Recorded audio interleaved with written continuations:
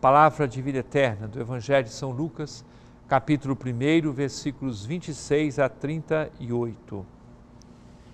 Naquele tempo, o anjo Gabriel foi enviado por Deus a uma cidade da Galiléia chamada Nazaré, a uma virgem prometida em casamento a um homem chamado José. Ele era descendente de Davi e o nome da virgem era Maria.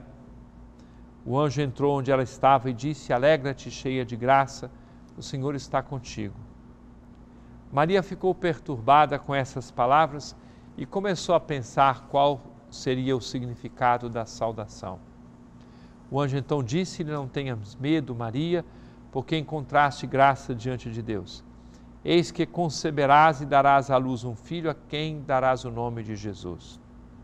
Ele será grande, será chamado Filho do Altíssimo, e o Senhor Deus lhe dará o trono de seu pai Davi ele reinará para sempre sobre os descendentes de Jacó e o seu reino não terá fim. Maria perguntou ao anjo: Como acontecerá isso se eu não conheço homem algum? O anjo respondeu: O Espírito virá sobre ti e o poder do Altíssimo te cobrirá com a sua sombra. Por isso, o menino que vai nascer de ti será chamado Santo, Filho de Deus. Também Isabel, tua parenta, concebeu um filho na velhice esse já é o sexto mês daquela que era considerada estéril, porque para Deus nada é impossível. Maria então disse: Eis aqui a serva do Senhor, faça-se em mim segundo a tua palavra. E o anjo retirou-se.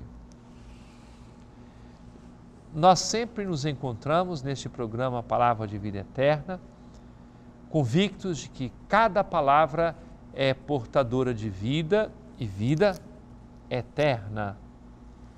Hoje celebramos o quarto domingo do Advento. Estamos bem perto do Natal, já estamos na chamada Semana Santa de Natal.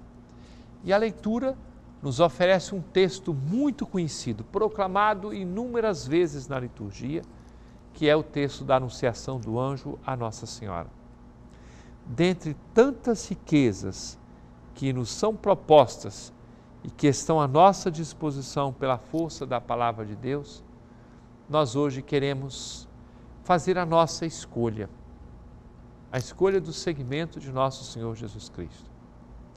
Maria recebeu um anúncio, Deus entrou em sua vida. A minha proposta é que no íntimo de cada um de nós, neste quarto domingo do advento, cada um do seu jeito, mas diga algo semelhante. Eis aqui a serva do Senhor, eis aqui o servo do Senhor, faça-se em mim segundo a tua palavra. É palavra de vida eterna.